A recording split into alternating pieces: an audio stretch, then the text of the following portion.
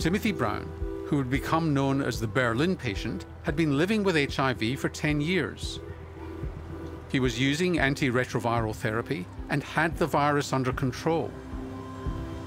But then he began to feel unwell, and his doctors delivered a second devastating diagnosis. He said, I have bad news for you. You have acute myeloid leukemia. And I'm like, oh, crap. And uh, I was in shock.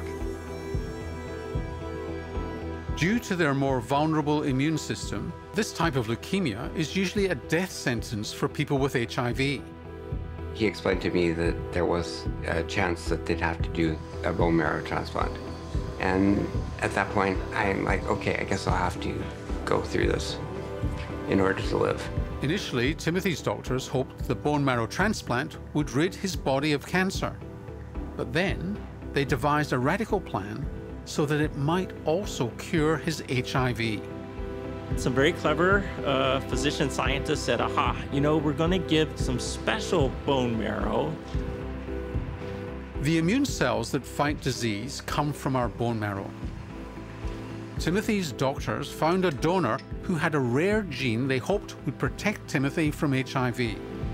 This was based on the discovery that one in every hundred people of European descent is resistant to HIV.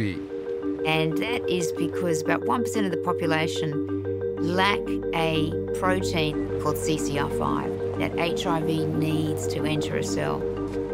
It was discovered back in the US in the early 90s when it was clear that there were certain gay men that were at very high risk of HIV, but they never got infected. People with this mutation are known as elite controllers. By transplanting donor cells that had a faulty CCR5 receptor, Timothy's doctors hoped he would produce his own immune cells that were resistant to HIV. Timothy stopped antiretroviral therapy shortly after receiving that transplant. Usually, the virus will rebound in someone's blood within about two to three weeks. But three months later, there were no detectable viruses in his body. For the next 12 years, he was effectively cured of HIV. There are 34 million people in the world with HIV, and it's hard to believe that I'm the first person to be cured. But in 2020, Timothy's leukemia returned. And after a five-month battle, he died.